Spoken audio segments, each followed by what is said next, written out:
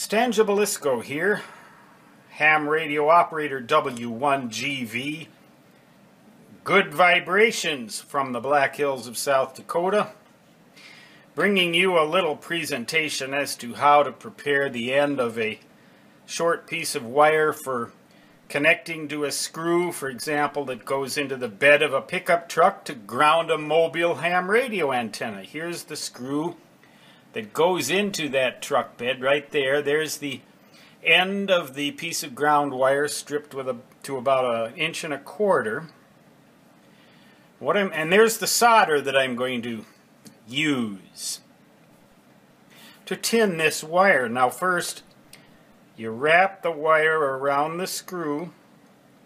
Now this is an example of one of the screws so that you get just the right diameter. You just wrap it around once, give the screw a twist or two, then unscrew it from inside that loop that you now have. Now that loop is going to, of course, provide the electrical contact, but you want to provide some protection against corrosion on that copper because this metal here, this stainless steel screw, dissimilar metals in variable environmental conditions, well, you know the drill. If you've had any experience with that kind of thing, you want to minimize that problem. So here's the tip of a soldering gun, which I am now preheating. I'm doing this on my Formica, or I guess it's called Formica, kitchen countertop. And then I have one of these sort of like meat cutting boards or abuse board is what it is in this case. It'd keep the formica from being wrecked by what I'm about to do. The wood, actually it's bamboo. It's pretty nice board. It's going to get scorched though, I suppose. You heat up that wire real good with that soldering gun before you apply the solder. Now this is stranded wire.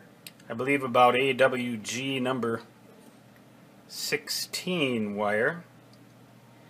And then you just tin it, not enough so that it beads up on there, but just enough to soak that wire. Okay, that's cool. So that is what you got. Now you got this little loop. You got to let it cool for a couple, three, four minutes. And then it'll be ready to accept this screw. Now if it for some reason won't accept the screw because the solder has slightly increased the diameter of the wire, you can just take a little flathead screwdriver of the right size and kind of jiggle it around in there and it should uh, work or you can force thread that screw through there. But now the solder will hold that loop in place and it will also protect against corrosion. It'll keep the loop from spreading out and falling out of that screw. It'll also protect against the corrosion that the presence of two dissimilar metals in direct contact would otherwise cause. So there you be, there you have it. Now I do that to the other end of the wire. Already pre-looped it. And then I'll screw one end into the antenna mobile mount base, which is grounded to the coax shield the other end into one of the little holes that's been provided by Toyota with such forethought in the bed of big number 8.